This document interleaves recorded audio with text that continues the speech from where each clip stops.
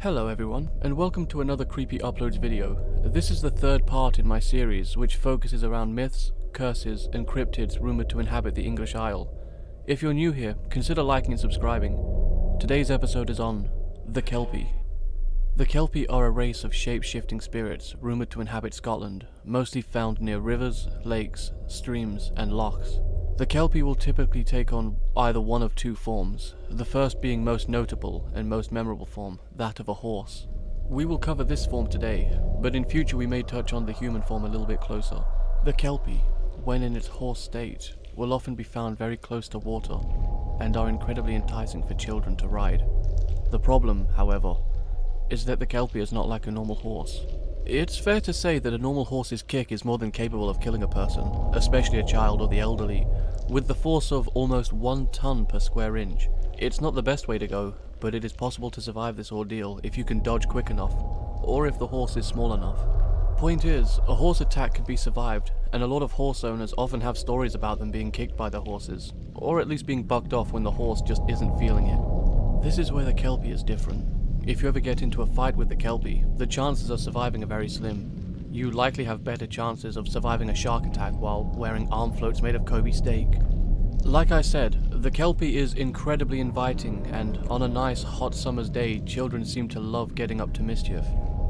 Any child that touches the horse, let alone tries to ride it, will soon realize that, unlike a regular horse which has soft fur, this beast has fur which is incredibly sticky and not too dissimilar from those glue mousetraps that you see particularly cruel people use to rid their home of pests. Once you're stuck, there's no coming unstuck. Trying to free yourself could result in a beast getting more of your body to touch it, getting you that much more stuck. Once the beast is entirely satisfied that you cannot possibly escape from the deathly grip that you have just entered, it will make a sprint for the nearest water source. Sometimes they'll sprint, other times they'll just walk slow, just to torment you even more. You may think that drowning is a horrendous way to go, but that's not typically how all of these encounters go. It is said in some accounts that once underwater, the beast shapeshifts once again into a sort of mermaid horse version of itself. Once this is done, it will simply just swing its mane around and begin to rip chunks from your flesh. You'll feel the warm blood leave your body and the air escaping your lungs. Likely shock will have set in by this point, so you hopefully wouldn't feel too much pain but likely you wouldn't feel any hope either. It is rumoured that the Kelpie does have one weakness if you ever feel yourself on a horse that seems a little bit sticky. In some legends, Kelpies are rumoured to have a bridle around their faces, possibly to add to the realism of this just being a regular tamed horse.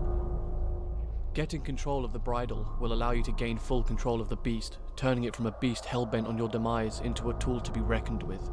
This beast was rumoured to have the strength of 10 ordinary horses and the stamina of many, many more. On top of the bridle weakness, Kelpies are also regarded to have the same weakness as werewolves, in that they are very easily defeated by silver bullets. Doing so will render the beast into a strange, gelatinous substance. In the book, More West Highland Tales, a story tells of how a blacksmith from Raasay had lost a daughter to a Kelpie, which would not stop tormenting his family either. Local legends told of how the smell of roasted meat was irresistible to the beast. Wanting revenge, the blacksmith began to roast a whole sheep by the water's edge. While the sheep roasted on the flames, he and his son had taken two hooks and heated them on the fire until they began to glow red.